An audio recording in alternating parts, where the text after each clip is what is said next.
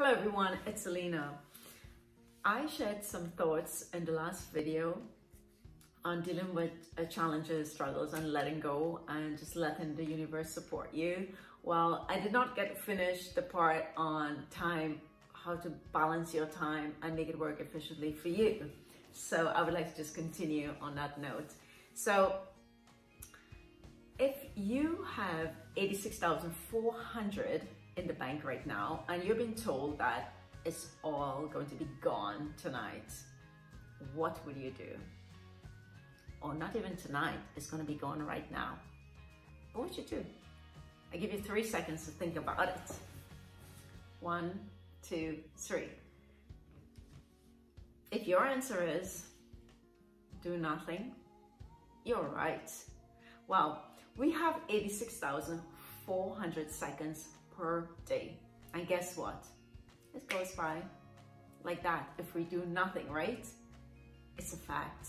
Well, our lifespan is, well, according to the new census, I think it can reach up to 80 now, I think. So if we live to 80, if our lifespan is 80, then we spend 25 years asleep, five years trying to sleep, 11 years watching TV, five years eating, one year exercising. Well, if you're on a regular exercise, if you have a good exercise routine, you can probably give yourself two to three years. And two years sitting in the toilet. This was the funniest research I've read on the, especially the toilet.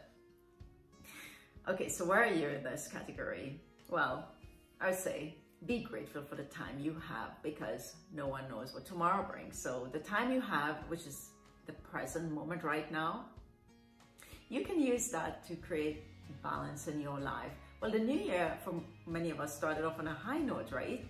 We had all these goals set, made our res yearly resolutions, and especially for January, um, many of us would set the goals for losing weight, say 10 kilos, um, launching a podcast, launching webinars, and many things like creating your online business, building better relationships, and creating, uh, making um, phone calls, uh, for example, cold calling to attract new clients, um, increasing your revenue, perhaps 50%, and much more. So where are you today? Well, I have had many struggles. I didn't achieve some of my goals. And in the last videos, you could clearly see what happened to me. I wanted to give up. So I am sure many of, many of you out there, like your goals fell through the cracks, your resolution fell through the cracks at some point. Something did not click, something didn't happen. But there are things that can happen to you. Um, and if you just let it be, it will come back to you. It will come. It will happen. It did from my experience. I'm telling you, it, it works. But there are some things that if we procrastinate and we don't put our foot, one foot in front of the other, it's not going to work. And uh, our brain, our subconscious, the Frankenstein brains, will not expand any energy for us. It will hold us in a stuck mode. So if you were stuck last year and you tried to change your habit this year, it takes at least a minimum 99 days to three, 99 days to start to change your habit and 365 days to really create an overall change and that becomes like a bit innate and by default you'll be doing these things and make it part of your life. Change, it becomes your autopilot, okay? So these habits that you can build. But we are the end of January, it's the last day. And if you haven't yet accomplished what you have set out, well, it's not too late. And just give yourself, you know, if you have accomplished some, give yourself a pat on the shoulder, go celebrate with your best friend, your children, your family, and every win, every small win, it's not about perfection at all. It's actually getting the stuff done. That is what matters. And uh, many of you know Switzerland is, is perceived to be the perfect country, but it's not at all. I can tell you that from my experience.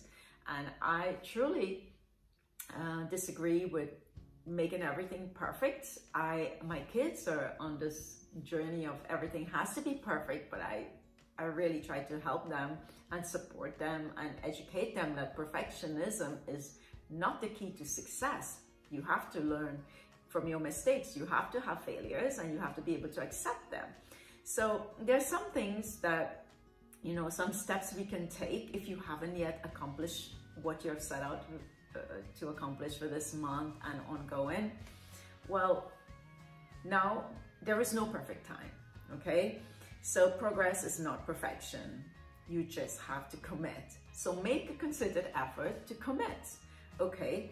Don't lose uh, time from time. You can also learn from time. And that means, say for example, you know, your time is really precious.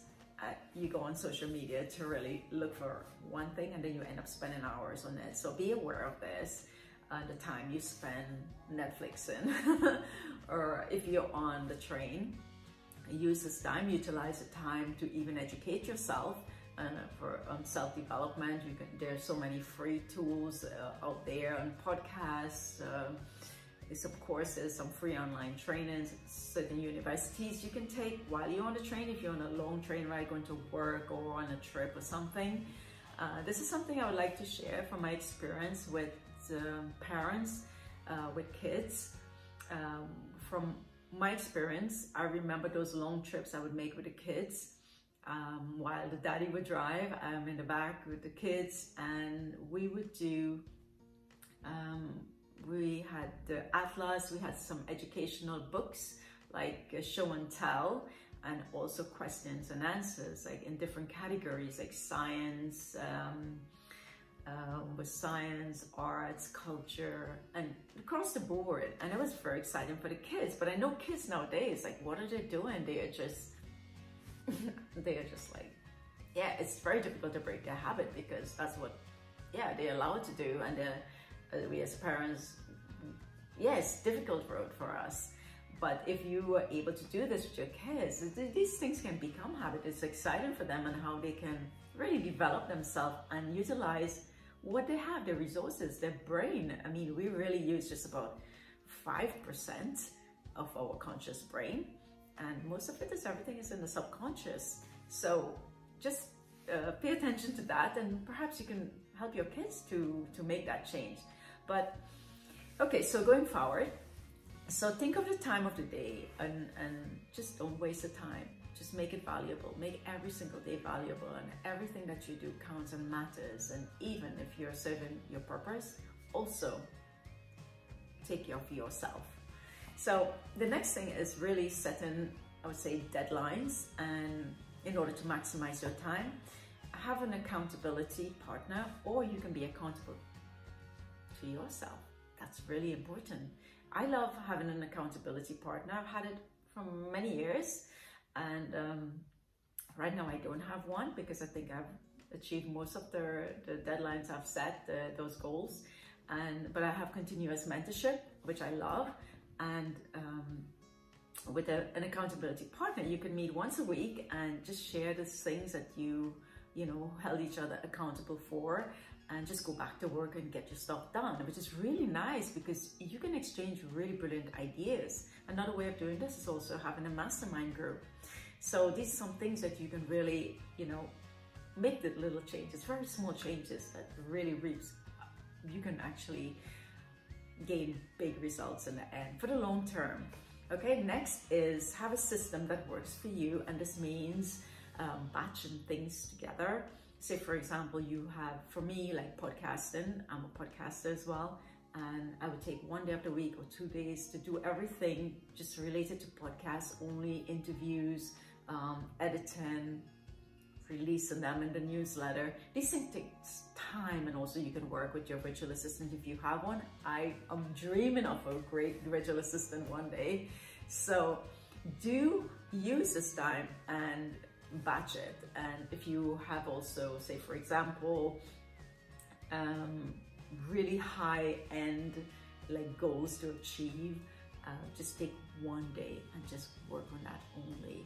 Or if you can split it up in four, high, medium, low, and just not really significant, you can work in that order as well. So it's really a great way to, to maximize your time and create that balance. And then you would have the space for yourself, that time where you can indulge a bit in nature, which nature gives you so much, and have some plants around too. That if you really genuinely waste time, talk to a plant. I tell you, it's so powerful. It really can help you to uplift your mood as well when you talk to the plant. I, I'm here alone and I I don't have co-workers with me. So when I go to the office, that's the only time I like really connect to human beings or if I meet a friend for coffee or something. But for the most part, I'm always connecting to nature and nature is so powerful.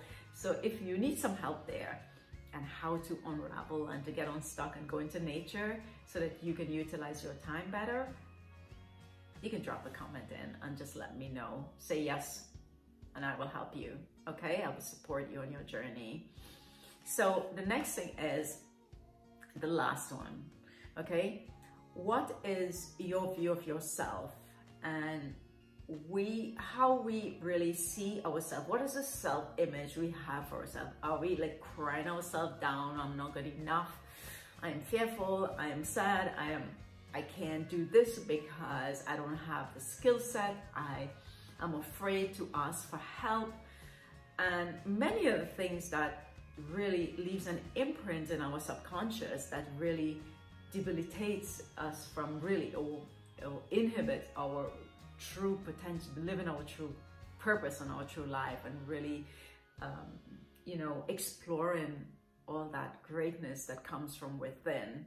So if you view yourself as a confident person, a person who is happy and energized and really a person who's willing to learn, I am a, a, an easy learner. I am willing to be curious. I am curious about life. I am willing to accept my mistakes. I am willing to, you know, be accountable for, you know, these things that I make, I, I, I write down, I actually start a project. I am accountable for it. So these are some of the things that can help you if you put it into practice every single day. And it's just small steps, small changes, big results.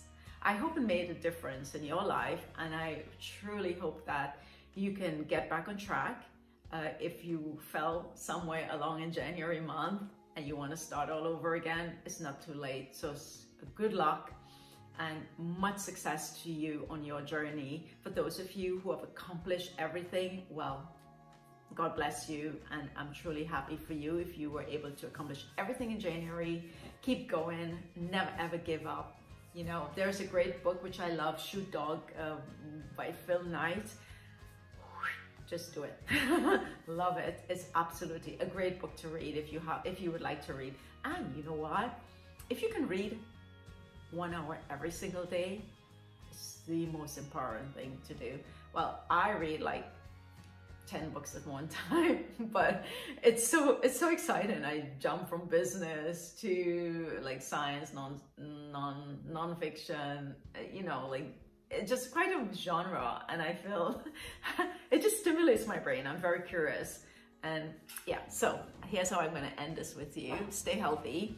This is from this is matcha from my superfood line and i'm from time to time i'm going to be you know, like talking about the superfoods and healthy, like also skincare as well. So stay tuned for this. And if you were interested in matcha, well, matcha, the benefits of matcha really is so powerful. It's one of the most amazing drinks. You can have superfoods as well.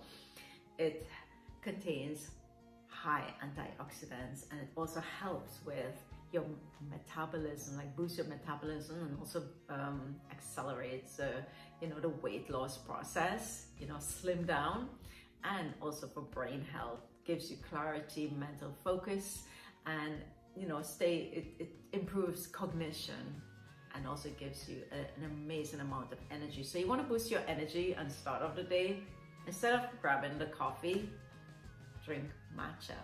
Okay, so you can find the matcha on my um, on my website, zalinaswissorganic.com, okay? And check it out. You'll see all the benefits. I got some recipes as well. So here's to you. Very good. In its purest form. Have a wonderful day and keep going. Never give up.